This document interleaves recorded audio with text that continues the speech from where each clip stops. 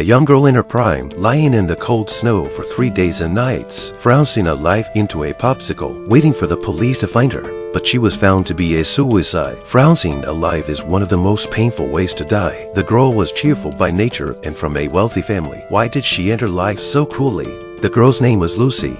Her parents wanted to find out the truth, so they took her phone and computer. They found a data firm, hoping to find clues. Jack and Ariane are the ones who accept this assignment. They first suspected that Lucy might have been subjected to school violence, but after decrypting her phone, they found it was full of pictures of her playing with her classmates. The video did not show signs of abuse, and in the video, Lucy was smiling innocently and romantically. It's not like she would commit suicide. This is where the trail broke down. Ariane decided to go to Lucy's school to check it out. Soon saw Lucy's girlfriends in the video, so she pretended to be a punk and provoked them. While running away, she took her girlfriend's cell phone.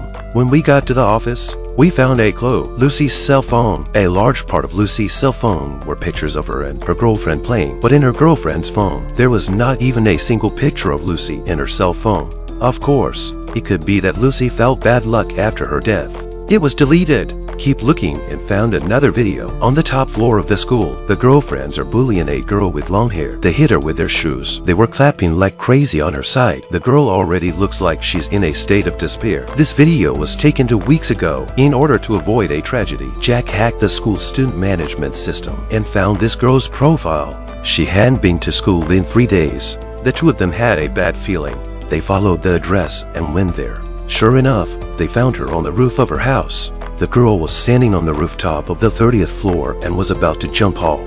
Ariane tried to persuade her to calm down, but Jack said you don't want to jump at all. Look at your hands still clinging to the railing. Do you still want to live? A reverse operation has convinced the girl. In fact, she really did not want to die, but being bullied by the school bully every day, it really makes her suffer. And the bully is Lucy's best friend. Is it possible that Lucy's death was also forced by her best friend?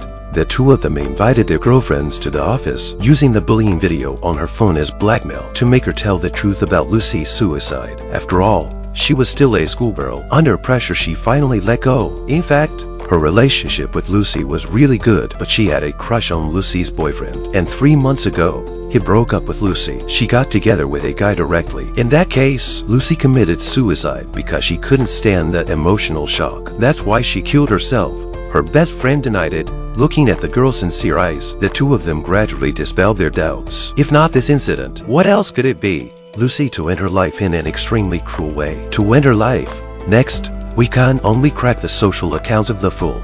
A thorough search, and there it was. The girl had injected a private blog account, specifically for journaling. Boyfriend's breakup, the betrayal of her best friend, full of negative emotions all in here to vent. And these words were also noticed by people who are interested. A friend named Kellen left a message for her. I understand how you feel. This world is really dirty. From this message, that to begin to chat, at first, the other person pretended to be a kind-hearted man to win Lucy's trust. Later, the other party directly asked Lucy for her parents and her best friend's email. And this is the key to open the door of hell. The uncle asked her, would you like to see some of the nastiest things in the world? The girl was curious to see, so the uncle asked for his parents' email address. A few minutes later, the email was cracked. Then the girl saw the father's explicit chat with his female boss. She saw the intimate photos of her mother and her class teacher. The girl was devastated. It turned out that her happy family was all an illusion. Uncle asked her for the email addresses of all her classmates, so she saw again her boyfriend's secret photos in the girl's toilet, girlfriends calling her green tea behind her back. What she once thought was beautiful behind the scenes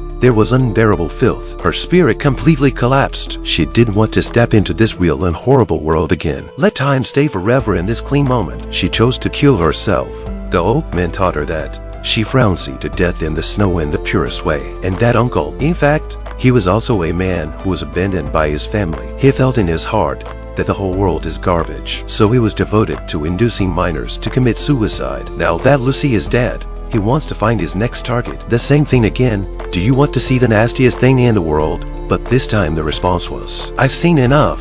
The old man was stunned. This is not the way it should be. Who is this guy? Will it take the bait? Pervert will eventually suffer what kind of retribution? Here to leave you a little suspense. See you next time.